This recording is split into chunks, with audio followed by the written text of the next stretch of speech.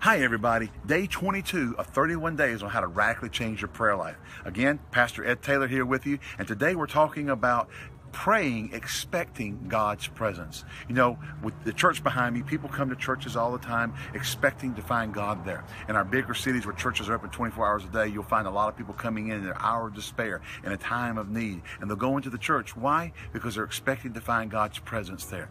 But the Word of God teaches us in James chapter 4, verse 8, that if we'll draw nigh to God, He'll draw nigh to us. Oswald Chambers said that the purpose of prayer is to reveal the presence of God. We can find God anywhere where we are when we enter into prayer and expect Him to be there in your car, in your prayer closet, out on a vacation somewhere, wherever you are.